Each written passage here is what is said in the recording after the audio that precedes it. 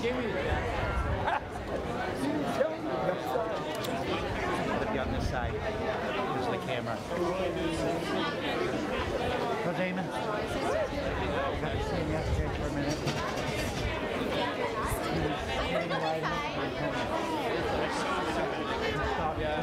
got a jacket and a hat.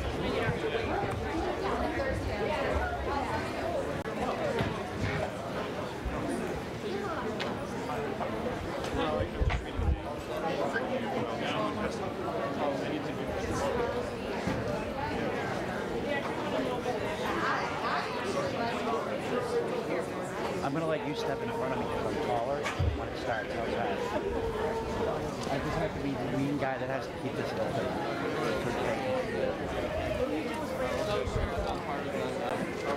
They all, they need the camera. They need the camera still. Ah, yeah, and that line. Pretty good? Pretty close? You're in my camera shot. I am? yeah All right, so here to that other line? Yeah, so it goes at an angle out to the corner of the podium. It's a different angle out to the corner of the podium. No, he's telling me where to take it. I thought I recognized you. Is everybody? Is arriving QDQ? Uh, welcome everybody. We're, we're not quite ready to get started. We're gonna wait for more people to gather. We have hot cocoa, a hot cocoa station over here to our pole. Um, there's Merlot right by the door, there's hot cocoa. There are, uh, additional candles, uh, over the table here in the corner here. I'm not sure, uh, Reverend Judy Michaels is planning to bring some more candles. Reverend Jamie is right there with more candles, thank you. And, um, I'm wondering if we can certainly gather kind of around the stage, but there is plenty of room also on the grass. And anybody who's volunteered just wanted to already to speak, if you want to come up and see kind of the order of when you're speaking, you can certainly do that. Um, Otherwise, you can wait for me to.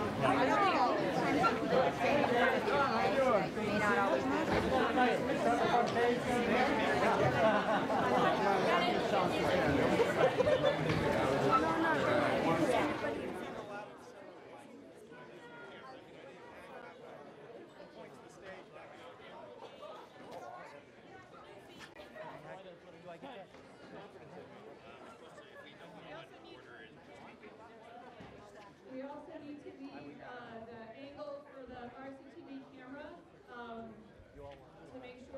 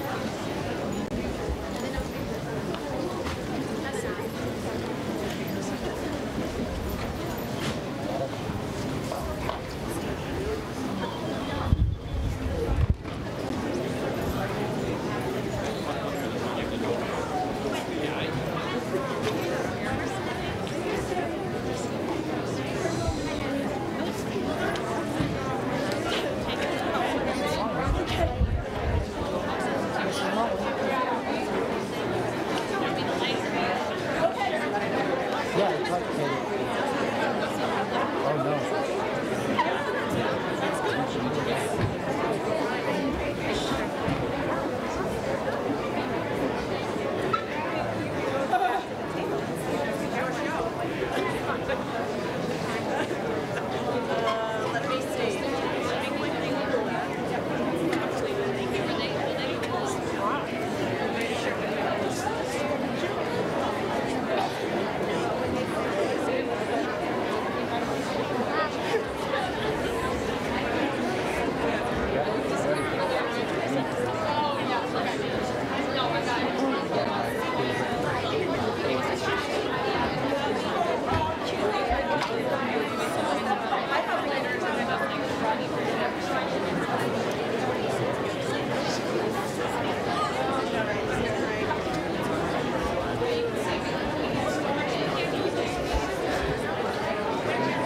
I was looking, going,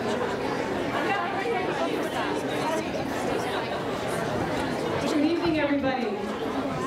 For those of you who might not know who I am, my name is Kate Boynton.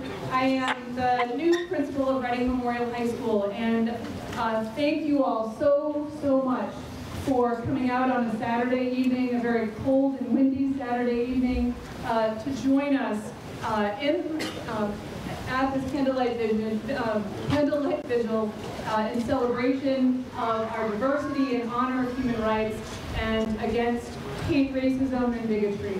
And we're here today, and it's a, it seems a, a celebratory event, but we are here today because there have been a series of hateful acts over the last three weeks here at Reading Memorial High School. Uh, and in addition, um, for the last several years here in Reading.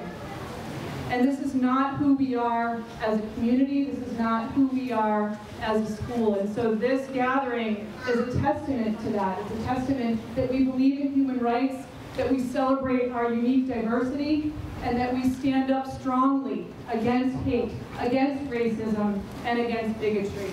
So I ask you now to, if you are able to, hopefully people have uh, lighters or matches, to light the candles to start the vigil. And we can pass the candles one by one to light the candles, to bring light into what have been some dark couple of weeks.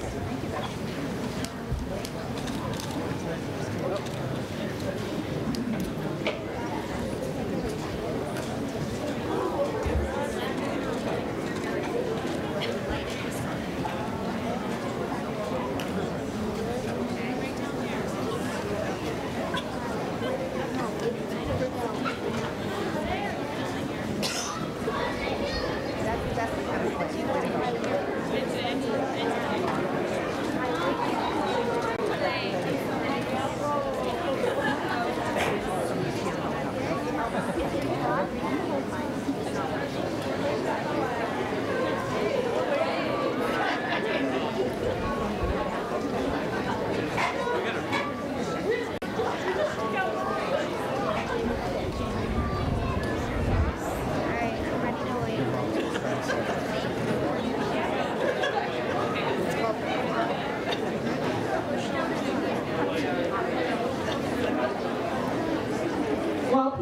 lighting their candles, I can walk you through the program of events for this evening. We're gathering now and lighting candles to bring light into the Reading community after a dark three weeks with hateful speech and graffiti at the high school. We'll move to sharing our stories and emphasizing who we are at RMHS, not who we are not. And we have students and staff members who have agreed to share their stories with you tonight. We then will move to a musical uh, song um, led by Killian and our choral group, um, followed by Reverend Jamie Michaels, the benediction and remembrance of victims of the Tree of Life Synagogue shooting, of which this is the one-week anniversary. We then will finish our evening with a recitation, uh, now of three poems. We have two staff members and uh, a student, Autumn Hendrickson, who would like to finish off the evening with uh, some poetry.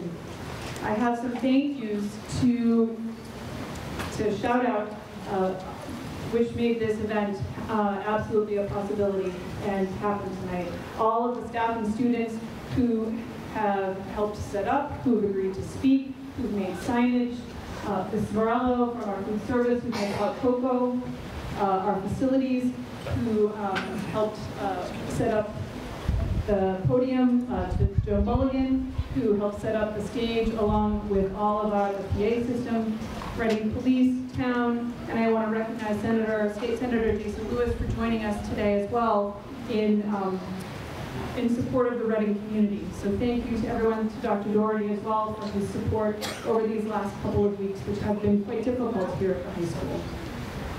So I would like to invite our first speaker, student Eamon Langlois, up to the podium.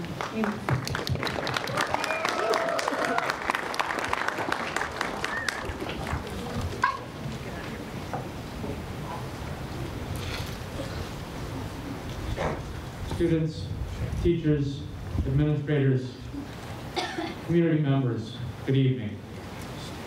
I have not the adequate words. But the first fact I'd like to share with you is that today is November 3rd of 2018. And yet still, even now, anti-Semitism reminiscent of the 1940s surfaces. Even now, racism reminiscent of the 1950s surfaces even now, homophobia of the 1960s surfaces. Of course, I refer to Hitler's Third Reich, a civil rights movement that spanned two decades, and the riots at New York's Stonewall Inn in 1969. These are events that we, as compassionate human beings, full of, full of regret for our past actions, uh, and, and the part that we played in a society where such hatred was tolerated would rather forget. I know that. I too would like to forget that somehow hate continues to pervade our everyday lives. That still there is prejudice, that still there is bigotry. But those who deface our desks with swastikas and who graffiti our walls and stairwells with kill the faggots, amongst other words of discrimination, do not forget. So we must not either. I see the world being slowly transformed into a wilderness. I hear the approaching thunder that one day will destroy us too. I feel the suffering of millions. These are the poignant words of Anne Frank, a believer in the Jewish faith, a teenage girl, an individual full of worth and dignity not unlike the rest of us. In February of 1945, Anne perished at the hands of a regime that believed in the superiority of an Aryan race. Unfortunately, as I read Frank's words this evening, I realize just how relevant they still are. Though there are individuals who do everything they can, everything within their power to rise above their station and to inspire change in our community, we cannot do it alone. For we are a species of collaboration. And yet, when I look around, when I look outside myself for guidance, I all too often find myself staring into a deep, dark abyss of inaction. Above me, I find the government, and I find no solace there, instead overwhelming bigotry. When I look around to some of my peers, I find little solace there either. Rather, I am met with act after act of inconceivable ignorance. This ignorance continues to pervade our community day after day and to label us all as the result of the actions taken by a seldom few or even one individual. I implore you to look deep within yourselves and to ask, is this what I want my generation to be remembered for? The resurgence of neo-Nazism, the hatred of entire populations, entire communities you've demonized simply because of an acronym that they were born to identify with, or because of their outermost appearance. I urge you, do not become complacent. Please disarm yourself of any and all preconceptions. Inquire this of yourself without the oft-used lens of partisan bias. Strip off your labels as conservatives, independents, liberals, because these are not questions of party lines. These are questions of humanity. If you do all that, I guarantee you that the answer will be no. I do not want to be remembered for this. We do not want to be remembered for this, because we are better than this. On December 1st, 1955, in Montgomery, Alabama, Rosa Parks refused to give up her seat on a segregated bus. In short, she refused to accept the injustice that she saw and experienced in the world. We must follow her example, because just as riots at the Stonewall Inn in 1969 led to the gay rights movement of the 1970s, we too can turn this tide. Anne Frank concludes with, I somehow feel that everything will change for the better, that this cruelty too shall end, that peace and tranquility will return once more. I believe that if we commit ourselves to the work Anne would have wanted us to do, we can change. We can eradicate ignorance and intolerance wherever we see it in our community, and we will be a better one for it. Thank you.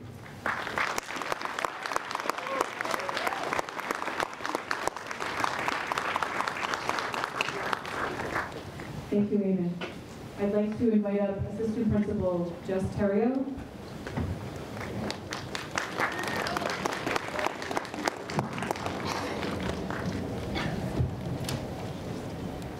Good evening, everyone, and thank you coming, for coming out on a cold and windy night. My name is Jessica Terrio, and I'm an assistant principal here at Reading Memorial High School. I am extremely disappointed that individuals in our school have acted in such a hurtful way. And I want you to know that you not only hurt your peers and the faculty, you hurt me. I want our students and faculty to be free to be who they are, free to express what they believe in, and feel comfortable in their own skin. I served this country for many years in the United States Air Force, and I made that a sacrifice because our freedom, your freedom, is what I hold closest to my heart. I want all people, all people, to feel respected, to feel safe, to feel loved, and to feel proud of who they are. Even though I'm not actively serving in the military anymore, I am actively serving the community of Reading and the people here in Reading Memorial High School, who I care very much about. I know that some of my students are scared, but I am not. I am strong, and I want to share my strength with you now. Back in 2004, my mentor, Mary Mastrangelo, gave me a book when I was becoming an educator. The book is called Simple Truths, Gentle Guidance on the Big Issues in Life. Mary died in November 2009 from cancer. When times get hard in my life or in the life of someone I know, I go back to this book. The one part of Mary that I still have. I'd like to read the brief section to you called On Strength. We each have a different kind of strength. Some of us are able to do to persevere against hopeless odds. Some are able to see the light in a world of darkness. Some are able to give selflessly with no thought of return, while others are able to bring a sense of importance into the hearts of those around them. But no matter how we exhibit strength, its truest measure is the calm and certain conviction with which it causes us to act. It is the ability to discern the path with heart, and follow it even when at the moment we might wish to be doing something else. True strength is not about force, but about conviction. It lives at the center of belief where fear and uncertainty cannot gain a foothold. Its opposite is not cowardice and fear, but confusion, lack of clarity, and lack of sound intention. True strength does not require an adversary and does not see itself as noble or heroic.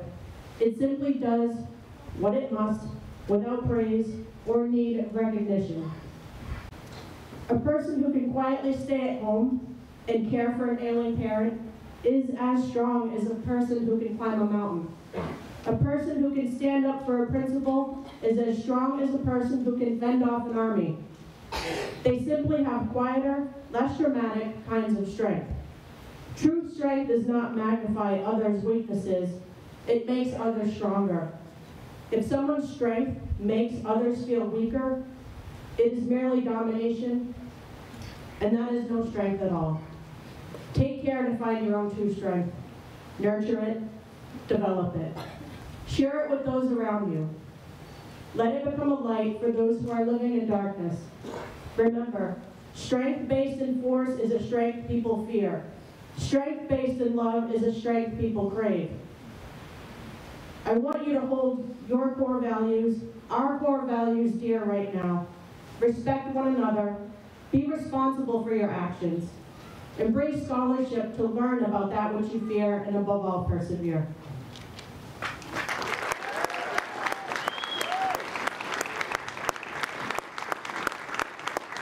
Thank you.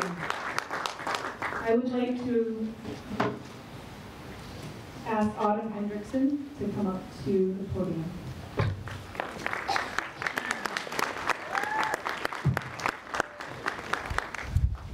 My name is Autumn Hendrickson, and I am now a junior here at RMHS. This week has been hard. This week has been heavy. This week has been long. This week has been exhausting. This past Tuesday, for the very first time in my life, I went through my school day wondering if there were kids around me who would hate me simply because I have two moms. This past Tuesday, for the very first time in my life, I worried that one of my own peers wanted my mom's dead, simply because they love each other. For the entire day, I switched between being distracted and wanting to cry. This past Tuesday, I realized that every time I told a Jewish friend of mine, yeah, I get that, that swastika must make you feel horrible, I really had no clue what they were feeling. Because you can't truly understand that pain until you experience it firsthand. Okay. When GSA met on Thursday, we talked a lot about what we wanted to say here tonight, not only as individuals, but as representatives of GSA. As we talked, a common theme seemed to emerge from the canvas of thoughts that we were throwing out, and that was the name of the club itself. The Gay Straight Alliance. The word alliance has always been there, right in our faces, but somehow it took someone writing kill the faggots on a bathroom wall for us to realize just how important our allies are. For many students, simply being associated with GSA is too difficult, and that pushes them away. After the events that took place over the course of the past week, I don't think I could blame them. Now more than ever, we need allies. We need straight students and teachers to show their support for the LGBT for their LGBT colleagues and students. Because right now, they need you. I'm sick of hearing faggot in the halls. This is a word rooted in hate. I am sick of hearing gay thrown around like it's the. When something like what happened this week happens, everyone is affected somehow, whether they realize it or not. I watched as the light fell from many of your faces, and I watched it as it fell from my own. I watched as we all turned to something between robots and zombies, half dead from the pain we were carrying and half asleep from the exhaustion of all that weight, yet programmed to keep going every time the bell rang. But then something happened. Something changed. Yes, we were still tired, and yes, we were still hurting, and yes, we were still scared. But now we were angry. We were outraged, disgusted, appalled. We were reacting. There were sticky notes on all the lockers, a banner being held in the front entrance. There were people smiling at each other in the hallways. There were messages of support on classroom doors. There were kids speaking up for what they believed in. There were teachers taking time away from class to talk to us about what was happening. There were emergency club meetings and there were bridges being built and walls being torn down. Yes, we are still tired. And yes, we are still hurting. And yes, perhaps we are still a bit scared, but we are here. We are together. We are a family here. Because this is Reading and this is who we are. My first two years at RMHS were probably some of the hardest years of my life. In October of my freshman year of high school, I had been torn from one of my favorite places, also full of some of my favorite people, and I was already at a very transitional time in my life, and now it had just gotten 10 times worse, and as I reached my sophomore year, the complexity of the situation deepened even further, and there was even a small tinge of hostility to it all, whether it was imagined or real. Last year, as a sophomore, I found myself face first in the dirt more often than I would have liked to admit. But on almost every single one of those days, as I sat in my desk fighting my silent war, just as many other students were, my teachers and my classmates would help me back up whether they knew it or not. And the beauty in it all was that they didn't need to know the ins and outs of my struggles. And they didn't need to see tears rolling down my cheeks to know I was hurting. It didn't matter what had happened. The reason for my pain didn't matter. What mattered was me. They cared about me. It is for that reason that I stand here before all of you, asking you to put your very best feet forward from this day on. Be the person who offers that hello in the hallway that someone didn't know they needed, or who makes a small conversation with a less talkative teacher. Be the person who starts an insightful conversation with a peer who you never would have expected to be so observant and thoughtful. Or a friend who goes out of their way to make sure that someone knows they are loved. Be the one to make playful banter or a perfectly timed joke when you know the mood needs lightning. Because in this town, and in this school, we are a family. It doesn't matter if you're gay or straight, black or white or brown, young or old, religious or not. And we will always come together when we need to.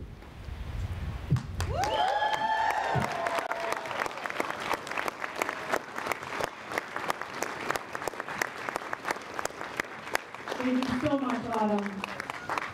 At this time, I'd like to invite Assistant Principal Mike McSweeney up to the podium.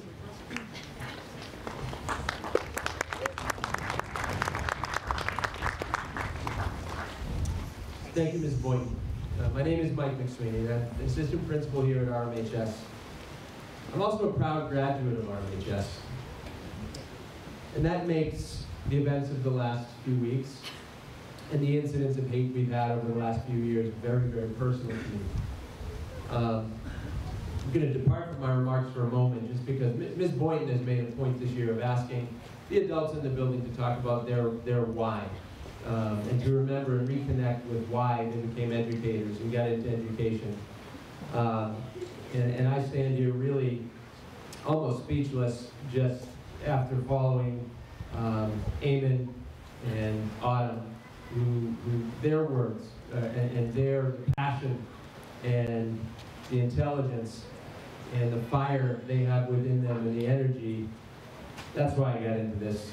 And I want to thank them and, and all the students who came tonight to be part of this and all the students who will speak after me and, and my great colleague, Ms. Terrio, um, for what they've brought here this evening. And of course, all of you guys for supporting us. Like many, um, when I'm frustrated by how hard a time human beings have existing peacefully and harmoniously, I turn to the wisdom of Martin Luther King Jr. for some hope and inspiration. I want to share one bit of wisdom from Dr. King that could be helpful to our community. Dr. King urged his followers to face the fight for civil rights, and indeed all they faced in their lives, with, quote, a tough mind and a tender heart. I think we all agree on the need for a tough mind. We all agree that we shouldn't be gullible. We shouldn't believe everything we hear without thought, maybe even some skepticism. We all agree that school is a place for developing the qualities that make a tough mind. But what about a tender heart? Do we seek to develop a tender heart, or do we, as Dr. King feared, view a tender heart as weakness? Would our school be better if, even amid disagreement, we treated everyone, every student in our school, as an individual worthy of dignity and respect and love? Of course it would be better. So let's be tough-minded, but let's also be tender-hearted. Ignore those people, in fact, defy those people who would have you believe that you succeed only if someone else is made to feel threatened, intimidated, or fearful. You, the bright, promising, inspiring, passionate students of RMHS deserve so much more. Thank you. Thank you so much, Mr. McSweeney. At this time, I'd like to invite up student Matt Ream to the podium.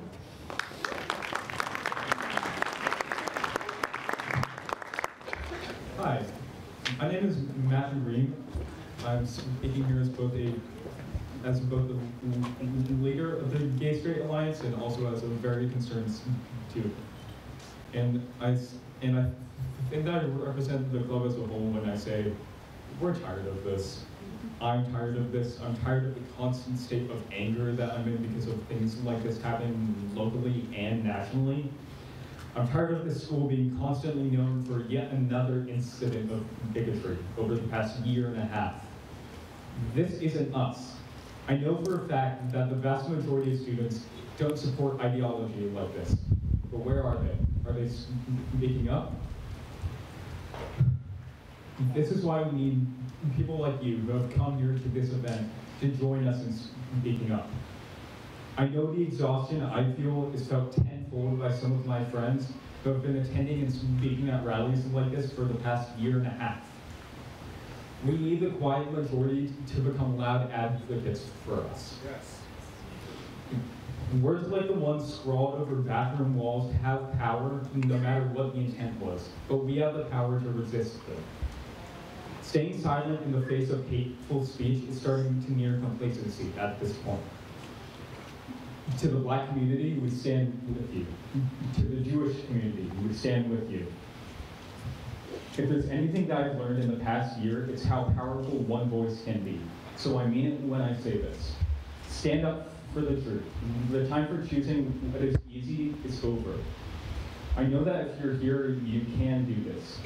If something hateful is being said or done, call it out.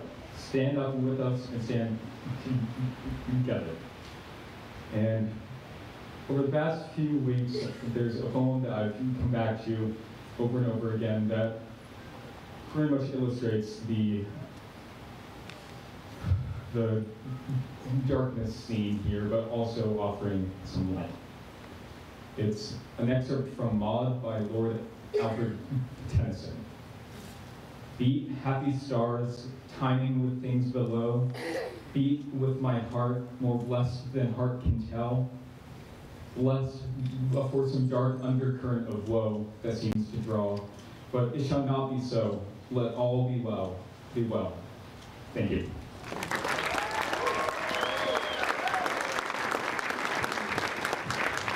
Thank you so much, Matt. At this time, I'd like to invite our drama teacher, Ms. Natalie Cuna, up to the podium.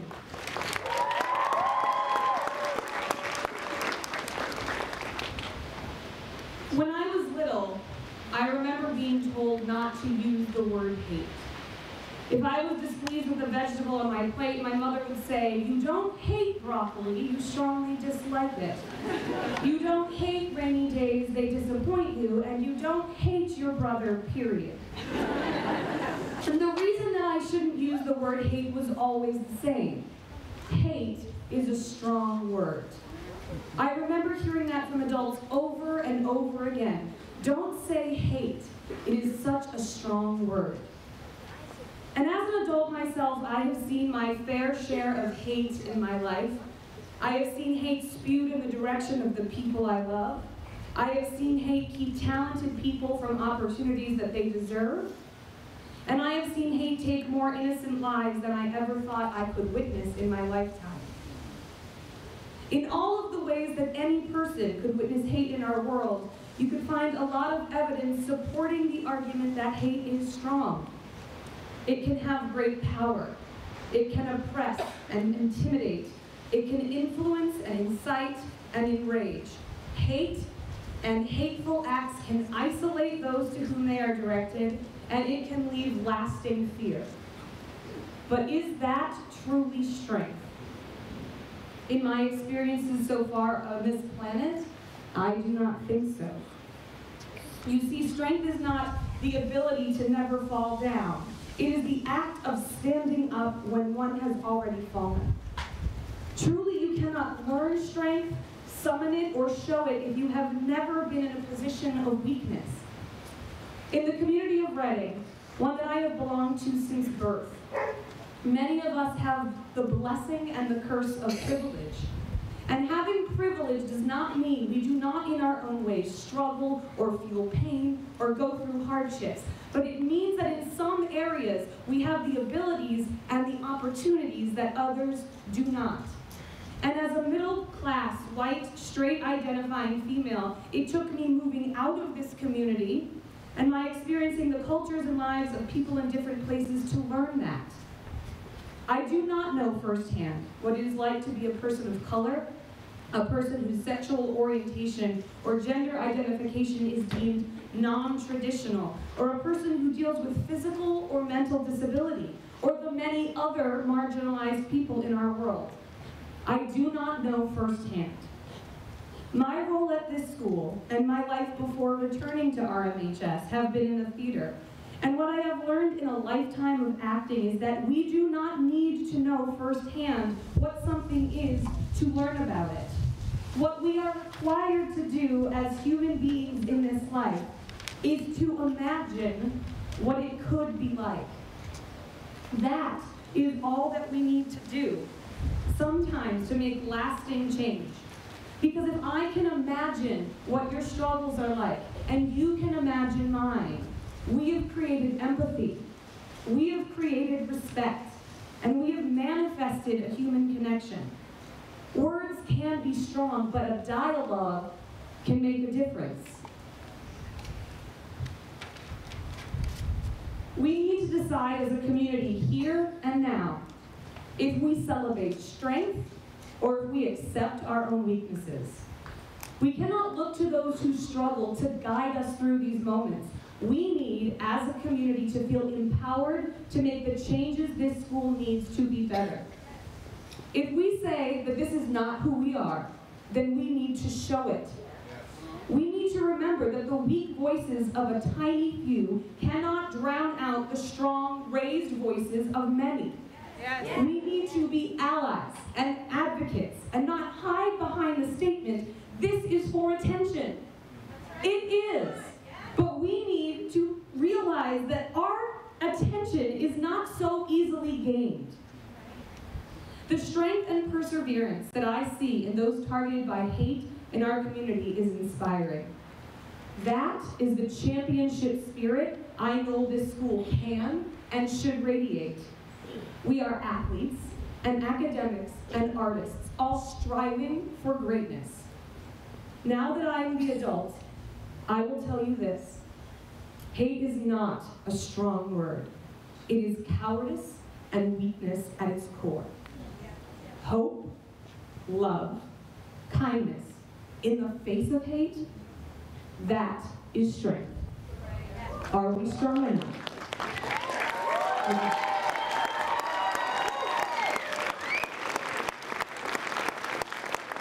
Thank you so much, Ms. Kuna. I would like to invite Ms. Holly Shore up to the podium.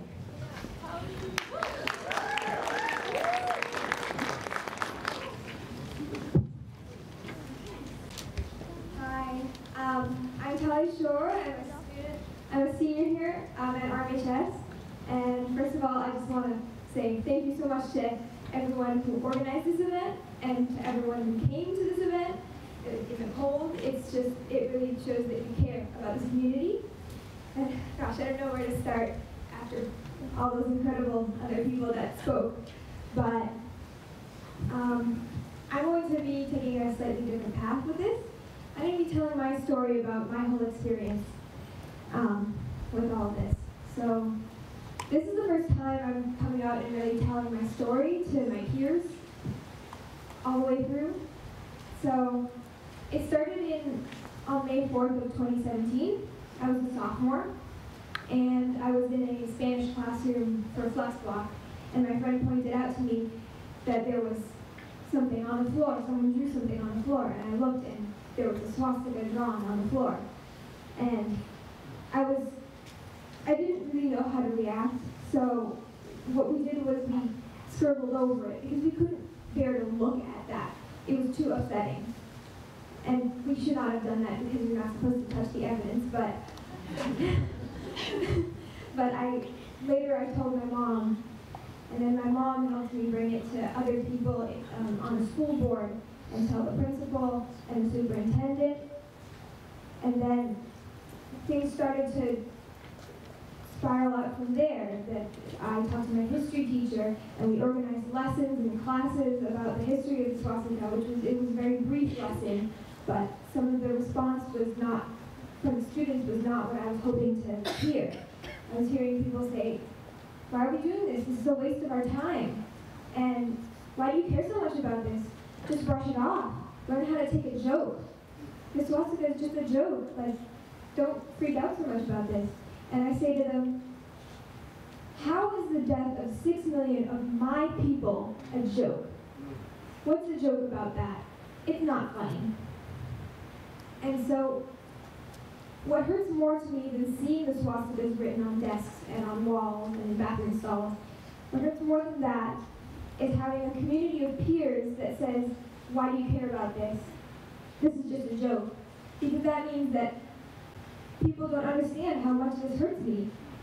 And no one else, I feel like there's no one else out there to, to support me and to save me from this.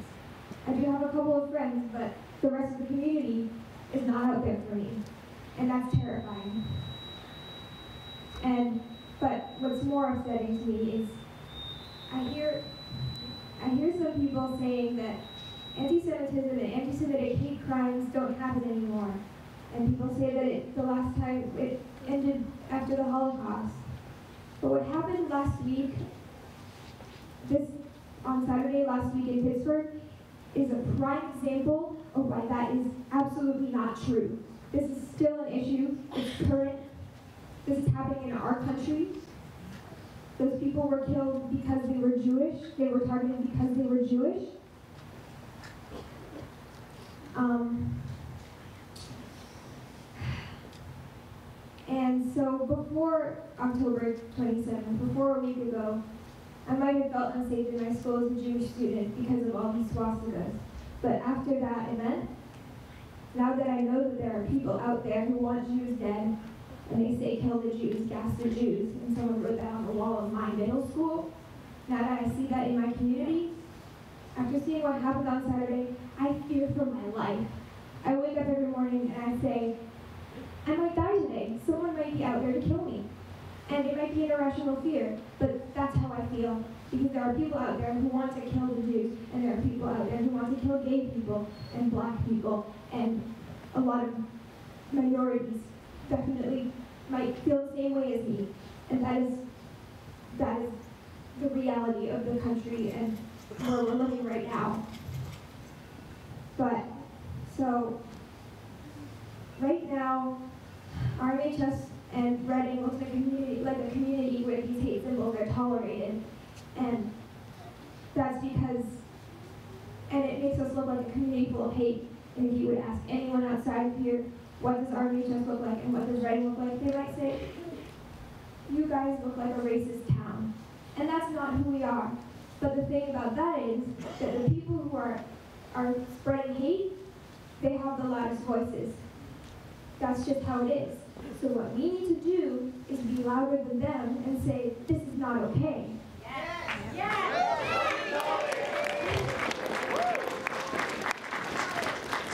Because we need to work together to create a community that has zero tolerance for any of these things happening. Symbols being drawn, offensive jokes. The more we normalize these minor incidents, the problem gets worse. There will always be incidents though. The graffiti won't stop. We can't tell people to stop. We don't know what their motives are. But if there are always incidents like this, then there always needs to be upstanders fighting against them. Part of the tragedy in Nazi Germany was that intolerance was met with silence, with indifference. That's why it is essential that we respond as individuals and as a community. Thank you.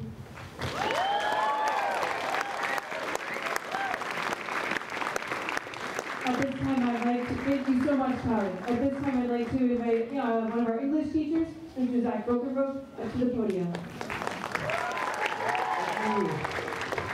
Um, I just want to start by thanking you all so much for being here this evening, as well as Dr. Doherty, uh, Ms. Boynton, and our assistant principals for creating space for this moment to exist. I don't know about you, when I was in high school, this wouldn't have happened. Uh, we would not be here. For those of you who don't know me, my name is Zach Brokenrope, and I'm an English teacher here at the high school. And for the past five years, I have had the privilege of walking through those doors every day for work. In that time, many of you have entrusted me with what I consider to be the greatest honor of my life, to mentor and teach your kids. In my years as an educator, I have always believed in the importance of being open and honest with my students. For me, a part of that means that I've always been openly out as a gay man in my classroom. A position that I take devoid of any political stance other than my fundamental right to exist as a person.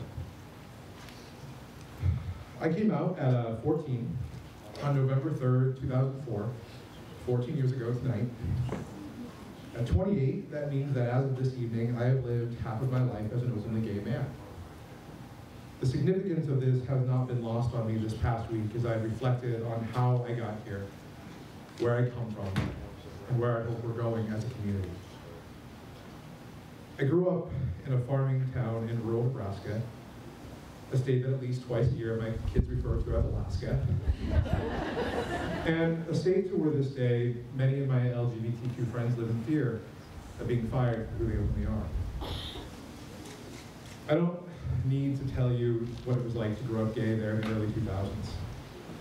I don't need to recount the violence or the isolation or the anger or the fear or the loss of friends, or family, or church. But what did happen there then led me to a cornfield on a cold December day when I was 15, where I placed a revolver in my mouth and I pulled the trigger. And as you can tell by my presence here tonight, I'm one of the fortunate ones. Either by luck or fate, I lived. And the moments after, I decided that my life was worth living. But that the only way for me to ensure my survival was to find a place where people didn't hate people like me the way they did in my hometown. The place where I was born, the place where I grew up, on the streets and roads that I knew as a kid. That was a year after your state legalized gay marriage. And for the remaining years of my high school experience, I made it my singular vision to make this place my home. This past week, after incident after incident of racism and anti-Semitism and homophobia has continued to define the narrative of this community, I keep thinking about a moment from my first week of college in 2008 when I was walking down Newbury Street with another student I had met as part of an LGBTQ organization on campus. It was after sunset and a car pulled up to us on the side of the road and began to roll their windows down. By instinct, I dropped my bag and ran a block. When my friend caught up to me, panting out of breath, he asked me what I was doing, where I was going, and I told him that I thought we were going to be attacked. That was normal. That's what I'd grown up expecting. He looked at me, and for a second, I saw this like glimmer of heartbreak in his eyes, and he wrapped his arms around me and told me that I didn't have to run anymore. It was the first time in four years I had felt safe. I've lived my life by that creed ever since. I will not run from the face of intolerance or hatred or injustice. I will not cower in the dark and disappear. In the great arc of history, Boston has often been called a city on a hill, a shining beacon of hope for the best of what this country is and the best of what this country can be. And while we have not always lived up to that creed, we have tried to lead the way, whether it be in education or in civil rights or in healthcare. But while we may aim for the stars, the battle for what is right is fought on an imperfect earth. We do not get to choose our moral imperatives. We do not get to choose the times in our life where we must be courageous above all else, where we risk the comfort of the many, the battle for the lives, and the dignity of the few. Those moments come to us. And the past year, the past month, the past week, they have came to this town, this school, into our classrooms. Those imperatives have come to you. The story that I shared with you tonight is a single story of this community, but it's far from the only one. I cannot begin to think of what this past week has been like for others, for our queer students now, for our Jewish families, for our people of color that walk through these halls and these streets every day. The 14 years ago tonight, I started the journey that led me to this place. And when I close my eyes and I remember that 15-year-old boy, the one who dreamed of the idea of what his life could be, of a place he had never been, whose beaches he had never walked on, whose roads he had never driven, and whose people he had never met, I am filled with renewed sense of urgency to fight for that idea.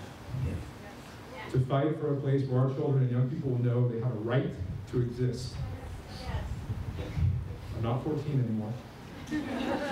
I'm not a kid anymore. The duty to protect and to create and to push forward is ours now, and it lies with us. And we live this every day for the students of color across this country, for the gay students across this country, not just in this community, but to be a beacon, a city on a hill once again. I will not run. We will not run. And I have chosen to stay. Thank you.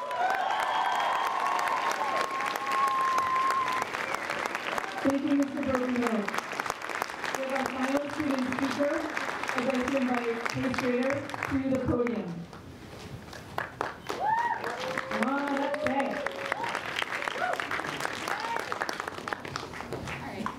Hi, hello.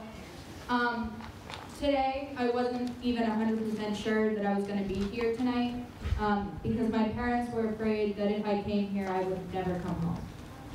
Um, they, it's a time now where we live our lives wondering if we're the kind of person that someone hates and that someone might be plotting against. That it's a world where there's there's just so much fear within us. But I want you to know that I came here tonight, and all of you came here tonight, and I'm so proud of all of you, and I thank you for coming, for standing up, for being here and lighting your candles and existing as part of this community, because all of us we live our own lives and our own existence, living our own struggles with our own identities, but we walk, but we are all members of this community. We all walk these streets, we go to these schools, we go to these businesses, because all of us are people, and we all have dreams, and we all have identities, and we all have people we love and people who love us. And I want you to know that every everyone here, regardless of your ethnicity, of your of your identity, you are valid, you are brave, and I'm proud of you for coming to school every day, for coming here and being able to stand here tonight. I stand here as a member of the LGBT plus community and as someone that struggles with mental health issues. And there are so many times where you get up in the morning and you think that you can't do it, that it's so hard that maybe you don't even deserve to get up that morning. but you do because you know that you have a community that will be here for you and that you are strong and that the hate cannot overcome you because you are more than just a label, you're more than just a slur or a picture or a word. You are a person with an identity and a life and a heart. And people say that it's just a word, it's just a picture, why, why does it matter? But the thing is, it matters so much because each of us have lived through so many hardships. We, so many people have had slurs thrown at them, have faced abuse, have faced struggles in their lives. And maybe to some people it's just a picture or it's just a word, but to some people it is a triggering flashback of a memory of a time when they didn't feel safe and when they didn't feel like they could be themselves. So each day that we know, know that we are here, that people who are standing here tonight are here for you, and that we are a community and we will stay strong. Thank you.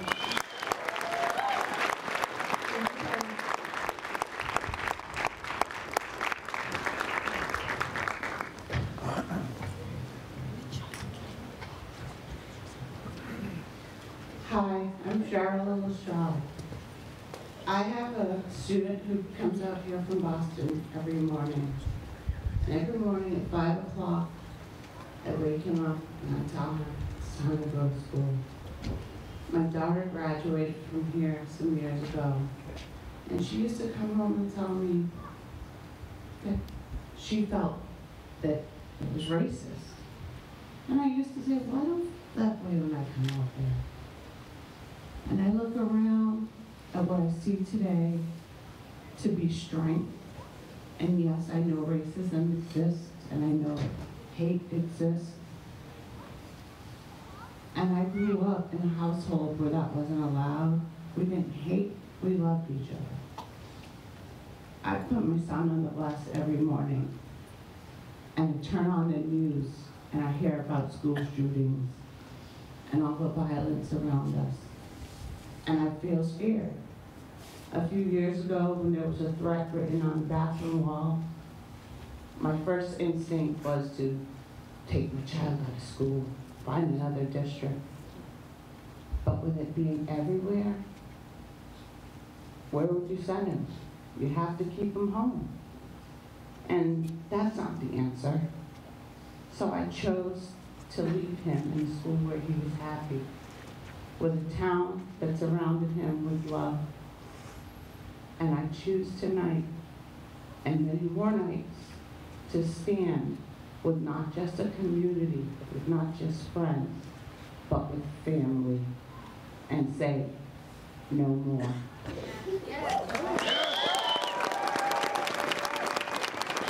Thank you.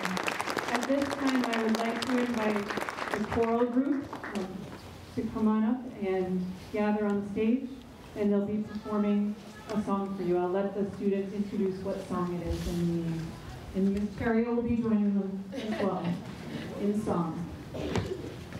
I often sneak into their C block class and stand by autumn and sing them also and also. I have not sung this one before, so I hope I don't mess it up.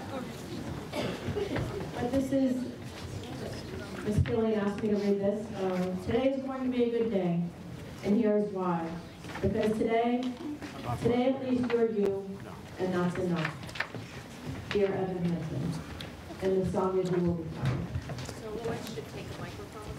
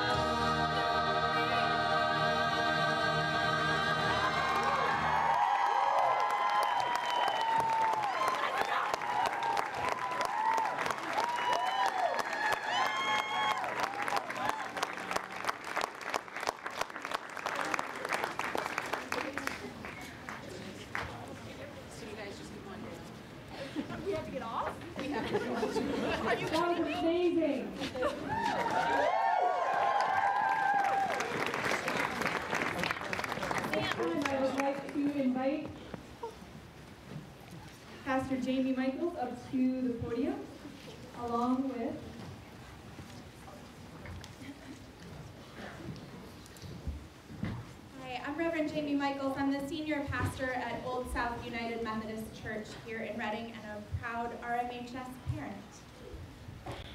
Pastor Kyung Yu, Korean Church of here in Reading, also parent of RMHS. Pastor Kyung and I are delighted to be here with you all tonight because we're so proud of all of you for coming out here. Um, last night I sat at a Solidarity Shabbat service. It was one of hundreds, thousands of Shabbat services, Friday night services that were held all around the country where um, Jewish communities opened up their doors to reclaim safe space in their sacred spaces that now felt unsafe because of the, the threats, the violence, the massacre of the past week, right? And so this week, um, instead of closing off in fear, Jewish communities opened their doors and invited people of all faiths to join them in solidarity. And so I'm so proud of all of you tonight for standing up and doing the same thing here in this space, saying that this space is not a place where we will say yes to hate, it is a place where we will say yes to love and to strength and to solidarity. So we're so glad that you're here tonight. You had some really, really brave um, teachers and staff and faculty stand up here and tell you, remind you really, right, that we cannot know one another's stories fully. And so it's really important for us to listen to each other. So I'm here to commit to you, to promise to you that the Reading Clergy Association and all of the churches and worship spaces in town and Reading Embraces Diversity and all of the organizations that we are associated with and all of the people who have come to join us are here to do our work. We are here to do our work so that all of the spaces in town, not just your school, but that all of the places in town can continue to be a safe place for you to live and grow and breathe and do all of the things that you're supposed to be doing right now. We are here to do our work. And so I'm so glad that um, Pastor Kyung is here with me. And we would like to um, invite you into a moment of prayerful reflection. And um, it's an interfaith prayer. And so I invite you, um, however you name God or the divine or whatever this, the sense is, the spirit is that is bigger than yourself, I invite you to, um, to be in that spirit. Right after that, right after this prayer, we're going to um, enter into a time of remembrance of the folks who were um, who were killed at the Tree of Life Synagogue last week. When I was at the Solidarity Shabbat last night, one of the first things that we did was remember that not only were 11 people killed at the Tree of Life Synagogue, but that two black folks, Maurice E. Stallard and Vickie Lee Jones, were killed at a supermarket last week because they were black. And I thought it was such an act of courage for the Jewish community to name a community with which they were in solidarity and mourning too. So I want us to take their example as we enter into this time of prayer. Will you pray with us? Grant us peace, your most precious gift. O God, eternal source of peace, and give us the will to proclaim this message to our families, our friends, our community, and our whole world.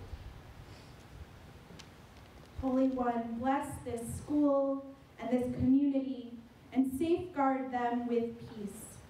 Make them be a beacon of hope and a light of love, shining forth a new way for all who languish in despair and loneliness. May contentment reign in our hearts and in our relationships, health and happiness within our homes. Strengthen the bonds of friendship and fellowship among all the inhabitants of every land. Remind us that we were made for each other. Remind us that we were made for each other. Plant virtue in every soul.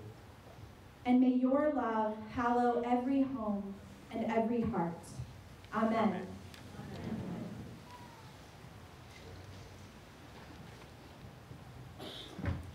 invite up now um, Anne and Janice, who are members of Reading Embraces Diversity, who will help us to remember the, the names of the 11 people, the, the lives of the 11 people who were killed last week. Thank you, Jamie. I also want to invite up those people that we asked to say a name to come up forward, please.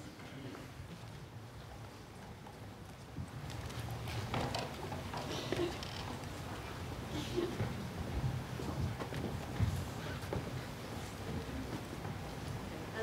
their way up, we'll introduce ourselves. I'm Janice Grant Menace. And I'm Ann Schwartz. We are both parents of our RMHS students, members of the Reading Jewish community, and members of Reading Embraces Diversity, or RED.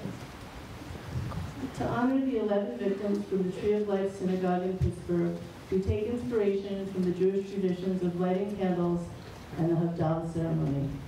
Candles play a big part in Jewish traditions. The medieval scholar Rabbi Rashi explains, without light, there can be no peace, because people will constantly stumble.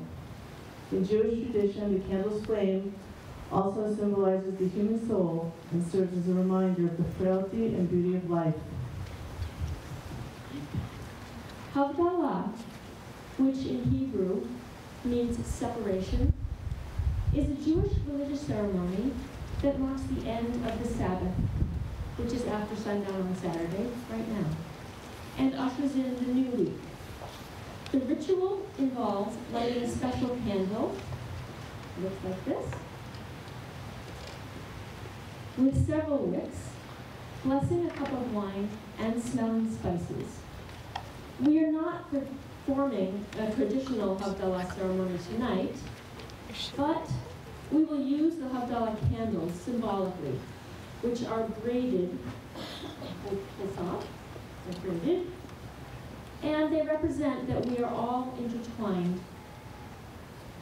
The braided candle has multiple wicks and gives off a stronger light than a candle with only a single wick, also symbolizing unity and strength. The ceremony acknowledges our abilities as human beings to make distinctions in our lives, dividing light and darkness, separating the Sabbath from the rest of the week, and for our purposes tonight, ending hate and moving forward to acceptance, love, respect, and hope. For the purposes of this memorial, we will light these special Havdalah candles to represent the 11 victims who were murdered in Pittsburgh. After we recite each name, please say together, "We remember."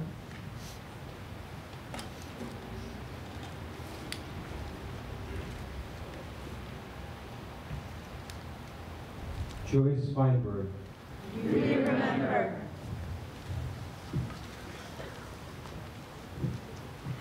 Melvin Wax. We remember.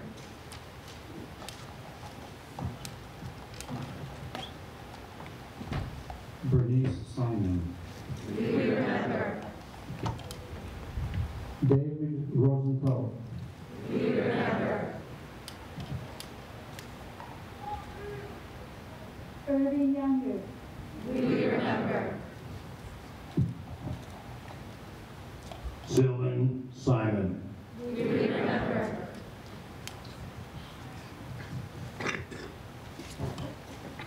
Daniel Stein. We remember.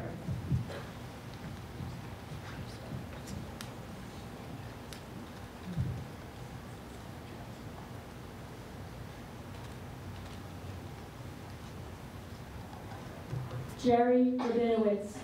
We remember. Cecil Rosenthal. We remember.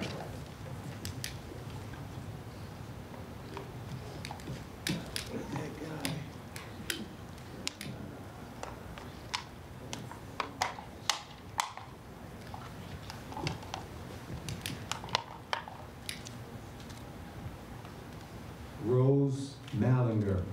We remember.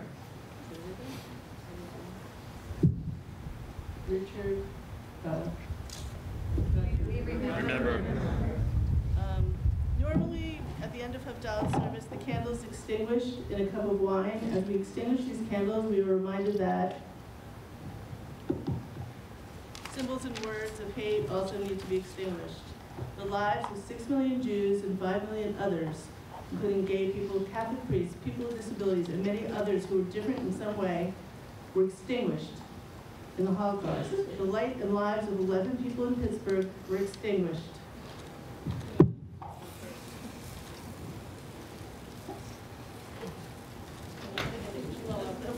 Blow out the candles. Blow the Yes. candles.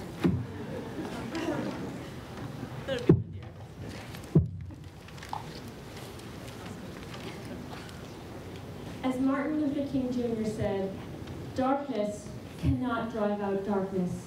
Only light can do that. Hate cannot drive out hate. Only love can do that.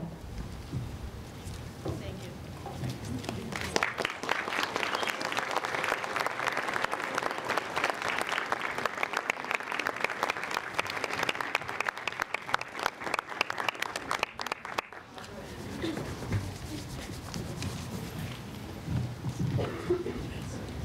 Thank you. At this time, I'd like to call up uh, Dr. Jeff Ryan, Ms. Audra Williams, and Autumn Hendrickson up to the podium. They are going to finish the night and uh, the the vigil with reading a series of poems. I think Audra, uh, Autumn will be our final speaker for the evening.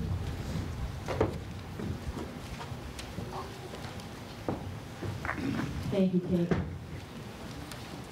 Thank you for joining us in solidarity this evening. As an English teacher here at the high school, my firm belief is that reading the stories of others and sharing our own stories is an act of empathy. In fact, research tells us this is true. I'm inspired by and in awe of my fiercely brave students and colleagues who have told their stories and bore their souls to you tonight. I'd like to share with you a poem from October Mourning by Lesléa Newman, which is the story of Matthew Shepard told through poetry. Matthew Shepard, as many of you here tonight may remember, was a 21-year-old college student from the University of Wyoming who was brutally murdered in 1998 for being gay. He was lured from a bar by two young men, then savagely beaten, tied to a fence, and left for dead. He was eventually discovered with one lone deer by his side, and the only bloodless marks on his face were the tracks of his tears. I will never forget when I heard that Matthew's father, at his own son's funeral, wore a bulletproof vest to protect himself from the anti-gay protesters who attended. As a parent myself, I can't imagine that kind of pain. Matthew's parents did not even bury their son's ashes for fear that his grave would be desecrated. However, you may have recently heard in the news that his family was finally able to put Matthew to rest on October 26th at the National Cathedral in Washington, D.C., 20 years after his murder. It took 20 years. May we never forget Matthew Shepard, his story, and his parents' bravery. And may we continue to move forward in the courageous footsteps of the Shepards in support of all targeted groups within our own community. Clearly, there is still work left to be done. I offer you the poem titled Vigil, Candles in the Wind, appropriate for this evening perhaps, from October Mourning, which is told from the perspective of the candles. When the teacher who praised him lit me, I glowed. When the friend who loved him lit me, I flickered. When the lover who knew him lit me, I trembled. When the stranger who grieved him lit me, I quivered. Across the country, around the world, one by one by one, we appeared to light up the night like stars, until one by one by one, like stars, we faded into morning. Thank you.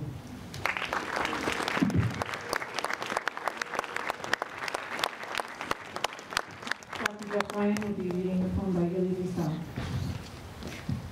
Good evening, folks. As uh, she just very kindly introduced me, I'm Jeffrey Ryan. I've been a history teacher here at high school for a really long time. It's, uh, it's fascinating that um, the poem that I chose, Manuel Gazelle, is a, a reflection on people telling their stories, which is what we've been doing all evening. I, I heard this for the first time last, uh, thank you.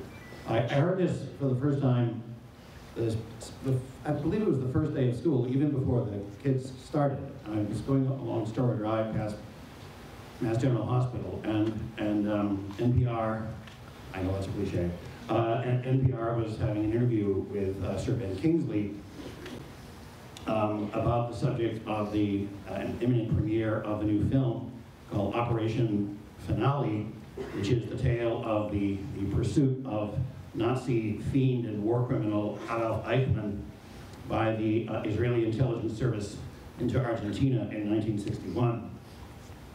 And uh, Kingsley, who is most famously remembered uh, for playing Mahatma Gandhi 35 years ago, one of the most beloved and saintly people of modern times, was playing the man, Adolf Eichmann, who saw the operation of the trains that brought Jews and other perceived inferiors and undesirables to death camps such as Auschwitz and Treblinka and Majdanek and Chelmno and Sobibor and, um, and Sobibor.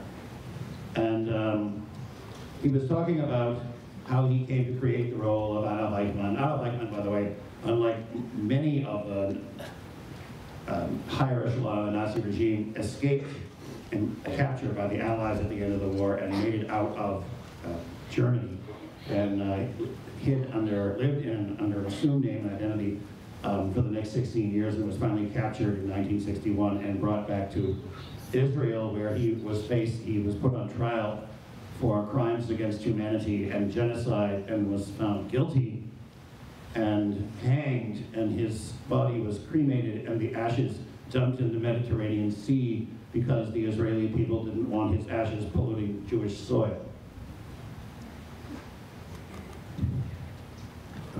Um, uh, Kingsley talked about his friendship with Elie Wiesel, who was probably one of the most famous uh, survivors of the Holocaust, and uh, Wiesel wrote a poem for him, and here it is.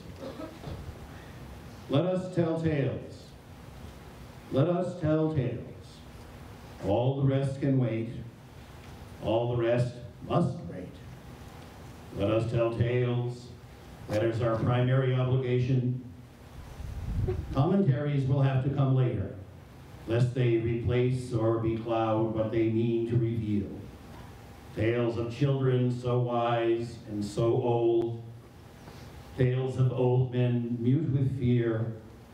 Tales of victims welcoming death as an old acquaintance. Tales that bring man close to the abyss and beyond, and others that lift him up to heaven and beyond. Tales of despair, tales of longing, tales of immense flames reaching out to the sky, tales of night-consuming life and hope and eternity. Let us tell tales so as to remember how vulnerable man is when faced with overwhelming evil. Let us tell tales so as not to allow the executioner to have the last word. The last word belongs to the victim. It is up to the witness to capture it, shape it, transmit it, and keep it as a secret, and then communicate that secret to others. Elie Wiesel. Thank you very much.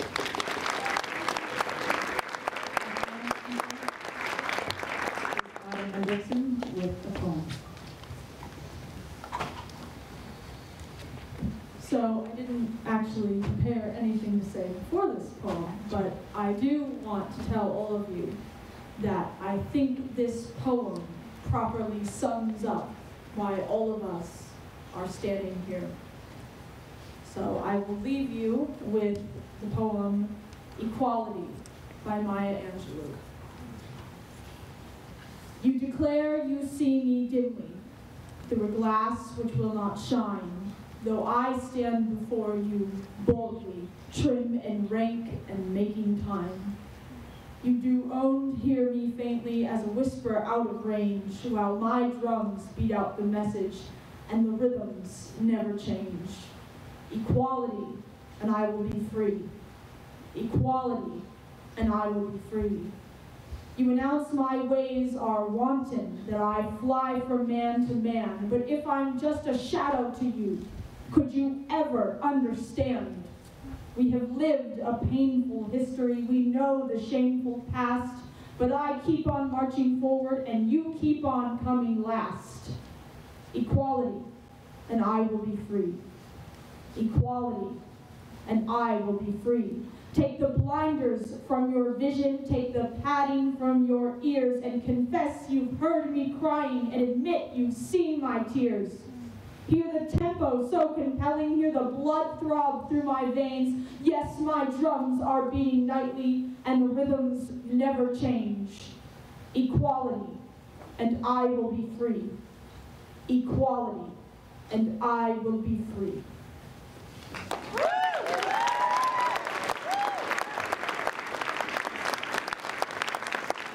Thank you, Ellen. I want to thank every single one of you for coming out tonight to stand up for such an important cause, to stand up for Reading Memorial High School, for the town of Reading, for the community of Reading, to say that this is who we are. This is what we stand for. Let's use the energy from this night to bring positive change moving forward. That's right. I- One last quote from Nelson Mandela, who is a hero of mine.